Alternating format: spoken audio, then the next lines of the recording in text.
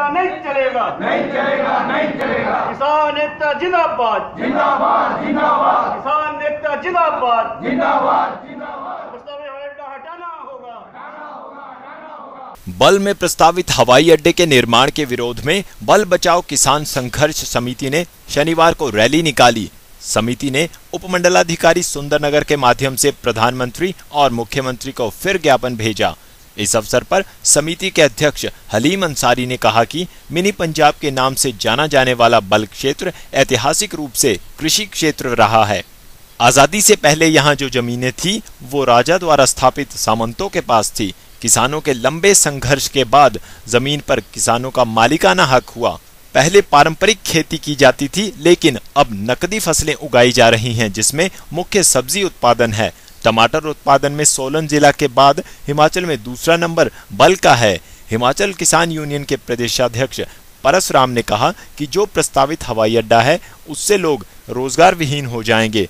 जोड़ा जंगल सदियों पुराना है, वह भी खत्म हो जाएगा। इस जंगल में विभिन्न किस्म के पक्षी हज़ारों की तादाद में रहते हैं और विभिन्न किस्मों के जंगली जानवर भी रहते हैं। हवाई अड्डा यदि बनता है तो पूरा पर्यावरण तहस नहस हो जाएगा।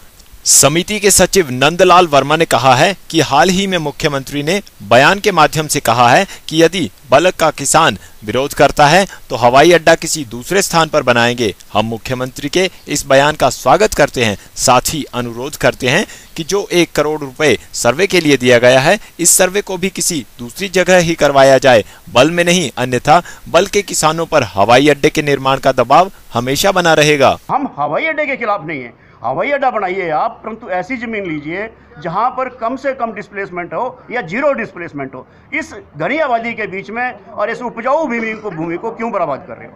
तो इस बाबत अभी जो मुख्यमंत्री का एक बयान आया है कि अगर बल का किसान विरोध करेगा तो हम किसी दूसरी जगह हवाई अड्डे को बनाएँगे। हम उसका स्वागत करते हैं।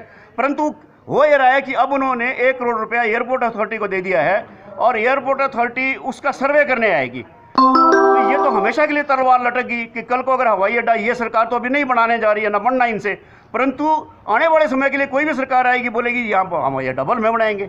तो ये ये जो हम ये कहते हैं कि जो सर्वे का काम है ये भी उस जगह करवाया जाए जो कहीं विकल्प में कोई दूसरी जगह है चाहे वो जाऊ है चाहे वो नंदगढ़ का आ, इलाका है या फिर उधर घोघरधार वाले बोल रहे हैं तो कोई ऐसा इलाका जहाँ से कम से कम डिस्प्लेसमेंट हो इस इसका सर्वे भी वहीं करवाया जाए। दिव्य हिमाचल वेब टीवी के लिए सुंदरनगर से जसवीर सिंह की रिपोर्ट।